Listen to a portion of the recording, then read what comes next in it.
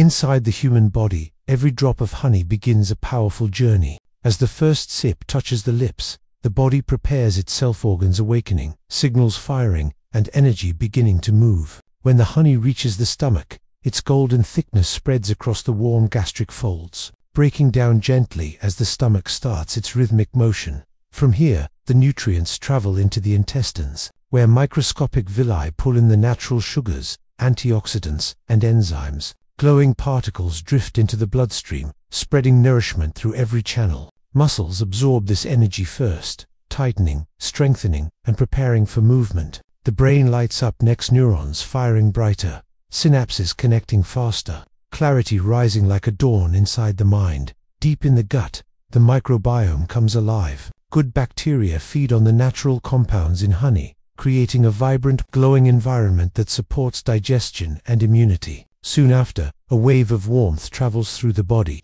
a gentle boost of energy radiating from the core. But too much honey can shift this balance. The stomach may grow irritated, skin can react, blood sugar may rise sharply, and the body's glow may fade into fatigue. Dot honey fuels the body, but only when taken with care.